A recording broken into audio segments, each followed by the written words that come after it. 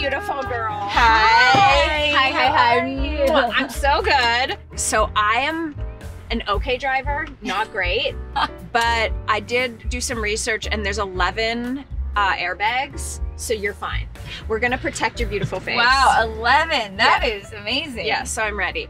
I can originally remember that you were a little bit shamed for going on Selling Sunset because it was like, oh no, True. reality TV, uh, and True. like the actress takes reality TV, but then it was the biggest show on the planet. Yes, you're right. That's uh, you know, I definitely got you know some side eye. But the thing is, is um, you never know what is going to happen in the entertainment industry. And now I'm riding this high, and I just went to Japan, and it was so crazy to have people that you know we don't speak each other's languages, and yet we're communicating because they've seen the show, and it was really exciting. The show has kind of taken over a little bit.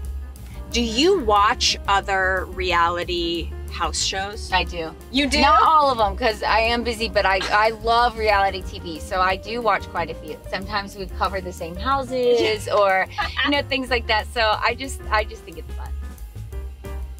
I think that I'm in love with G.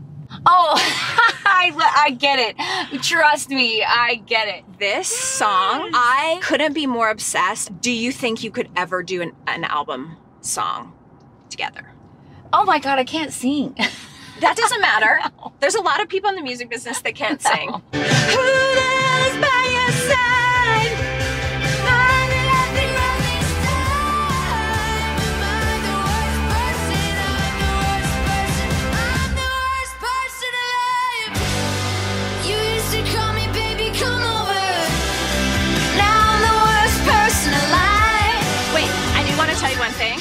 You know, my husband's in the music business. Yes. And works with, you know, incredible people. And I was like, I want to play you the best song on the planet. And I played this for him, and he hates everything. And he was like doing his little bop. Really? And he said, he said that is one of the most technically perfect songs I've ever heard. Oh Yeah. my gosh, that's Like the so way nice. the songwriting is. I know. I want everyone to know. You posted a house on your Instagram, you're like, new listing. And I was like, I want this house. And so I came. We were very professional. There was like flyers available. And this was already like the Selling Sunset was already on. And people were like, she's not. I was like, no, no, no. And I went and you showed me the house. You're like, here's the closet and this is the bathroom. And you knew your stuff. Oh, well, thank So you. So you're real. It's okay, we have 11 airbags. I'm like, you're gonna be fine. You have 11 airbags. Don't worry, fans. She's fine. I did want to ask you one last thing. Yeah. What is the best thing about now being famous and being you? And then what is like the absolute worst thing?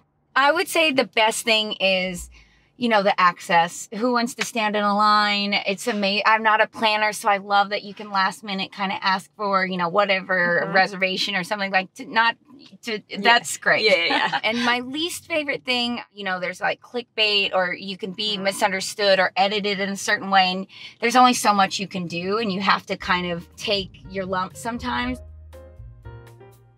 Bye. Thank Love you. you so Thank you for much. coming. I'm so Um, excited for you and all your success. I'm glad we didn't have to use the airbags. Love you.